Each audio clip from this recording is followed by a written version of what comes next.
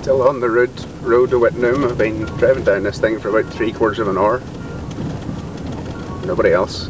Nobody's here, baby. no one to blame. No one to point the finger. The reason why the place is uh, Just you and me. so unpopular as a destination is that there's uh, blue asbestos seams that are open to the air. So when the wind's up, particularly, uh, there can be a you know a bit of asbestos dust in the air. You get asbestosis and can lead to lung cancer, nasty things like that.